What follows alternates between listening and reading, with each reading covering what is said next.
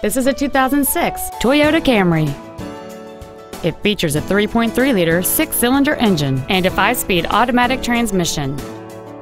All of the following features are included. Aluminum wheels, a low tire pressure indicator, cruise control, a CD player, a leather-wrapped steering wheel, performance tires, a rear spoiler, an anti-lock braking system, a power driver's seat, and this vehicle has fewer than 69,000 miles on the odometer.